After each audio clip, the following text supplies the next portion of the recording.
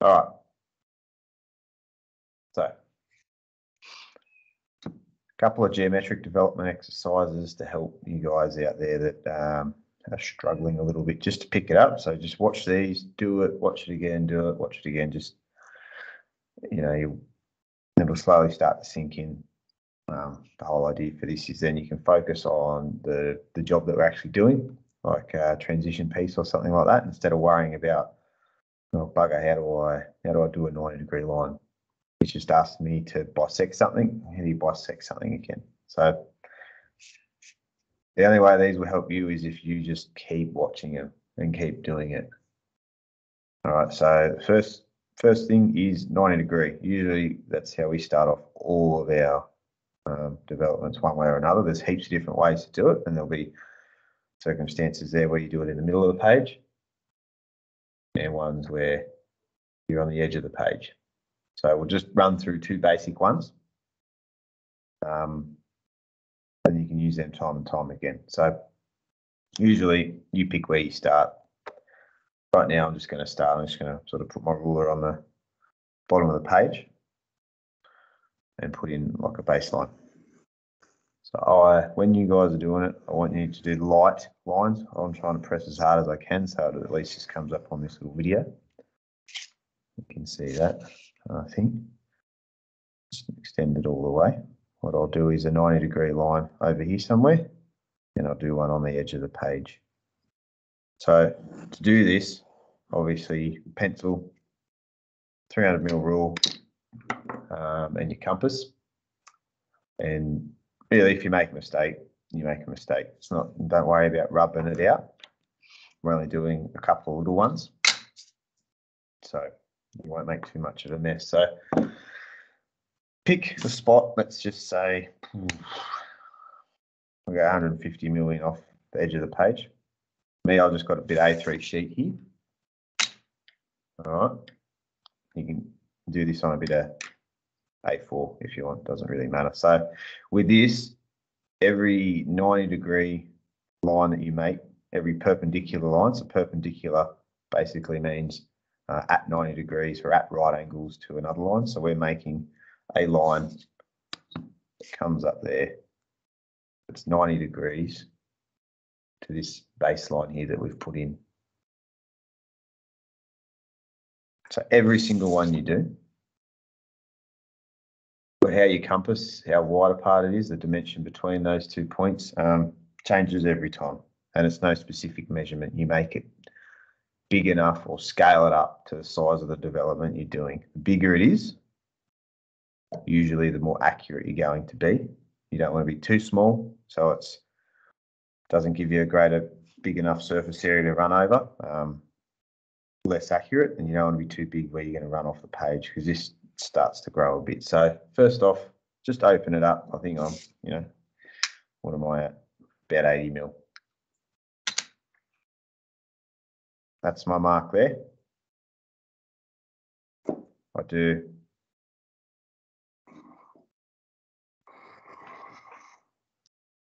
half a circle. From there, I put the point of my compass on those two lines that intersect my baseline. Scribe two arcs over the top that semicircle I just made. From those two points, I then pop up to here and scribe two arcs, one off there, one off here, roughly where I think 90 degrees is going to be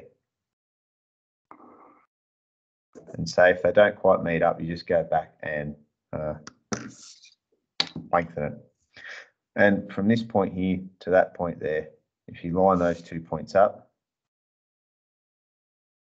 that should be 90 degrees bang on. All right, 90 degrees. If you do that a few times, that'll start to sink in. All right, so the next one after that is a 90 degree, say on the edge of a page. We don't have, say, the luxury of going, doing a big arc like this, but we still want a big scale. So we're, we're accurate. So say, let's say I'm just going to start over here about 20 mil over this side of the page. All right. What I want you to do now though is like pause video and just do that and then go back and do it again and go back and do it again. Just repetition, guys. It's, it's, it can be mundane, but it's how it works. And if you don't do this, you're going to start falling behind. So pause it now, do a few of them, and then we'll pick this one up. So this one, there's my mark there. I just put the point of my compass on that mark. I scribe an arc. Say from the edge of my page down to where it hits um, our baseline. From there, I'll put the point of my compass on that mark there. Scribe an arc intersecting that quarter of a circle I've just done now. That gives me another point to put up here. So you notice with this one here and with this one here, I did take a measurement for my compass, but it's relative to the size I'm working on and it hasn't changed at all from here to there, from all the marks that I've done. That's one rule about this. Can't change. If you start making dimensional changes between your compass, between each step, then you, you've lost your accuracy. All right, so that's that's all we've got to do there. So now we've done quarter of a circle. From that point, we've done a mark. From that point, I've scribed another arc roughly where I think is 90 degrees to our point that we've picked up off the baseline. From there, I line this point up here and this point here. And where those two line up should run through this arc that I've put in up here. I just put another little cross with my ruler. All right. So let's move that over a little bit. Can you guys see that? It's a bit light. But we use those two points to line that up. And then from here to that new cross that we've just made up the top there becomes 90 degrees. So that's 90 in there. All right, so you do that one a few times. Now, if you have a look at what we've done here, half of this really. So I use my ruler to get a point up here. If you have a look over at this one, I'll line my ruler up on those two points. It intersects there as well. So everything's, you know, you'll find a lot of this stuff is pretty uh, interrelated. You do part of something, you've done half of a development another way. So, um, yeah, once you start to sort of get it in your head, things tend to stick a lot. All right. So, um, one of the other things you guys have got to do uh, bisections, so bisecting a line, bisecting an angle. So I've asked you guys to, you know, make a 90 degree line, and then what we're actually after is a 45 degree line. So if that's 90 in here, you're saying when there's 90, we want a line coming out there somewhere. We want to cut that in half, bisect it to get 45. All right. So same thing again, your compass, the length of your compass doesn't matter. So that can be any length. I can make it a bit smaller. I can make it a bit wider. I could have left it where it was. It doesn't really matter.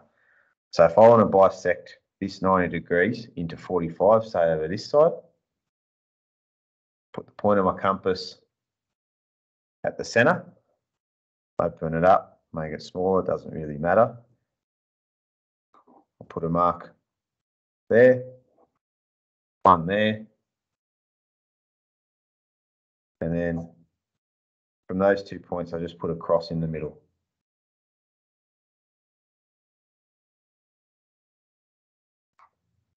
All right, and then pick up center and this intersection out here that we've made, and we put a line in. That's it, that's 45. And that's 45. 45 degrees. We just cut that in half. We can do this same technique again. Picking up off the center, another mark there, we've already got there. That's the same length, so we don't need to mark it again. Over here,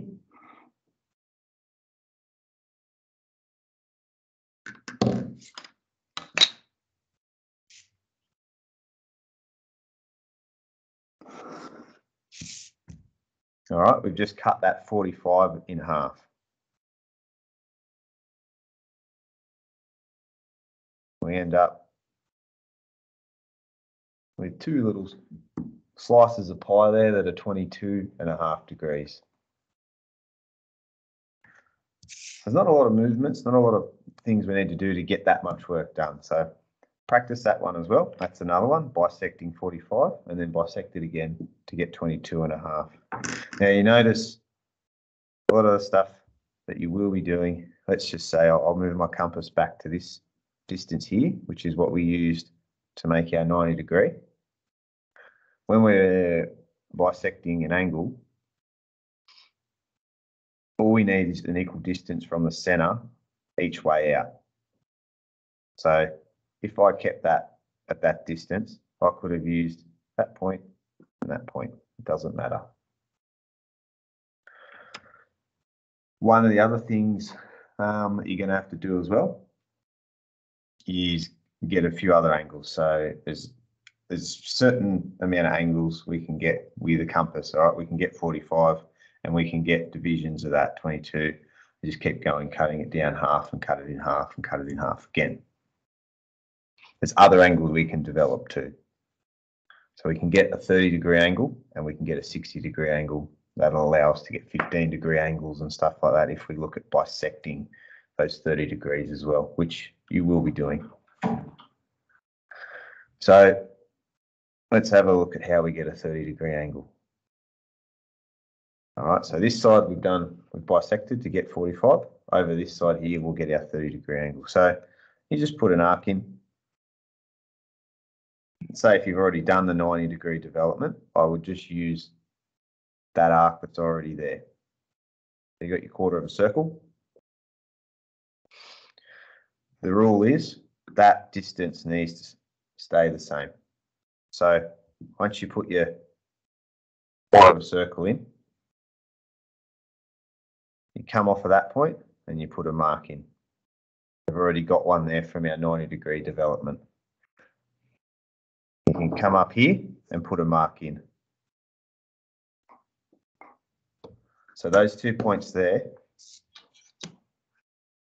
that intersect or that cut through this quarter circle that we've got um, create our 30 and 60 degrees. So let's just have a look at this. Our first mark here, I'll put a line in. All right. In here is now Make that darker. That's now 30 degrees, which if that's 90 degrees, that tells us the remainder is 60. So sometimes you want the 60 degree angle sort of on this side. Other times you're going to want the 60 degree, 60 degree angle down on the other side. So we can just bring the compass down the other way. That'll give us 60 degrees going the other way and 30 degrees down the bottom. So what we're doing is pretty much cutting that bit of pie up into 30 degree segments. All right. So there, there are a couple of basic techniques. The last one that I want you to practice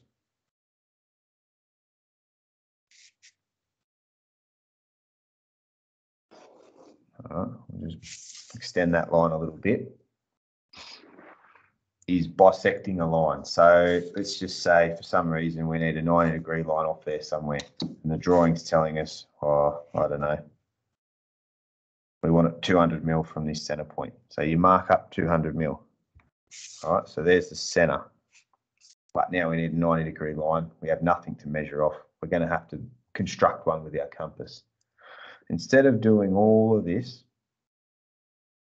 we can just bisect that line if there's enough space around it. So how to bisect? Same, principle as sort of what went on here with our 45 degrees.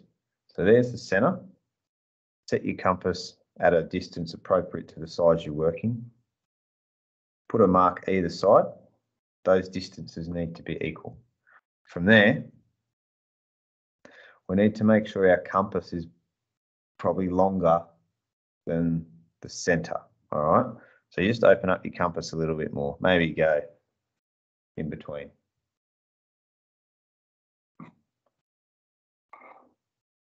Put a scribe at the top, roughly where you think that 90 degrees is going to come through. One down the bottom. And go over here. Do the same thing again. Top and bottom.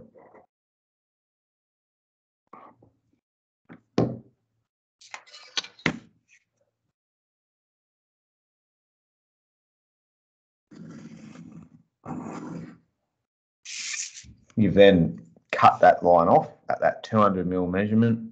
That's 90 degrees in there.